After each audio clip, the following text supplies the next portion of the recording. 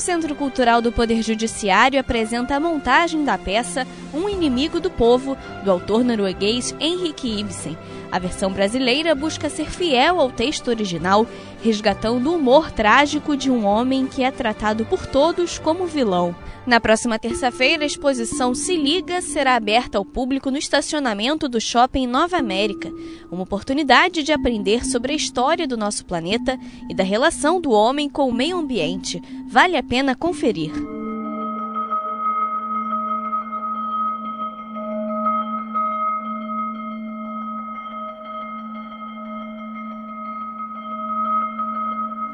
Um total de 37 filmes, entre eles alguns inéditos, estão na programação da Mostra Cinema e Direitos Humanos na América do Sul. A Caixa Cultural cediu o evento que chega à sétima edição. Fique atento e confira a programação no site.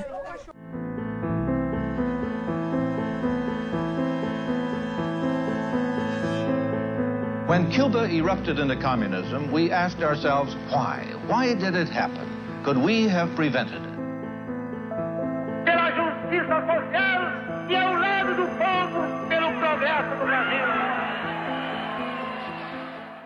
Neste sábado será inaugurada a tão esperada Árvore de Natal da Lagoa.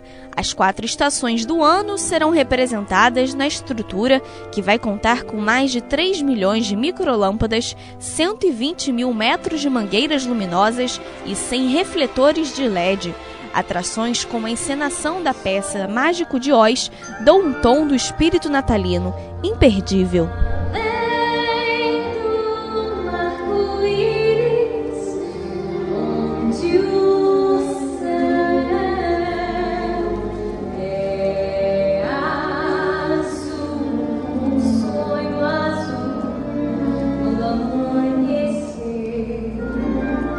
Domingo é o Dia Nacional do Samba e, para comemorar, tem shows gratuitos de diferentes personalidades.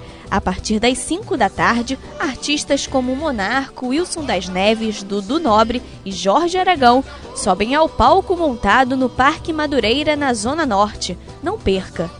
No sábado, o tradicional trem do samba sai da Central do Brasil em direção à estação Oswaldo Cruz.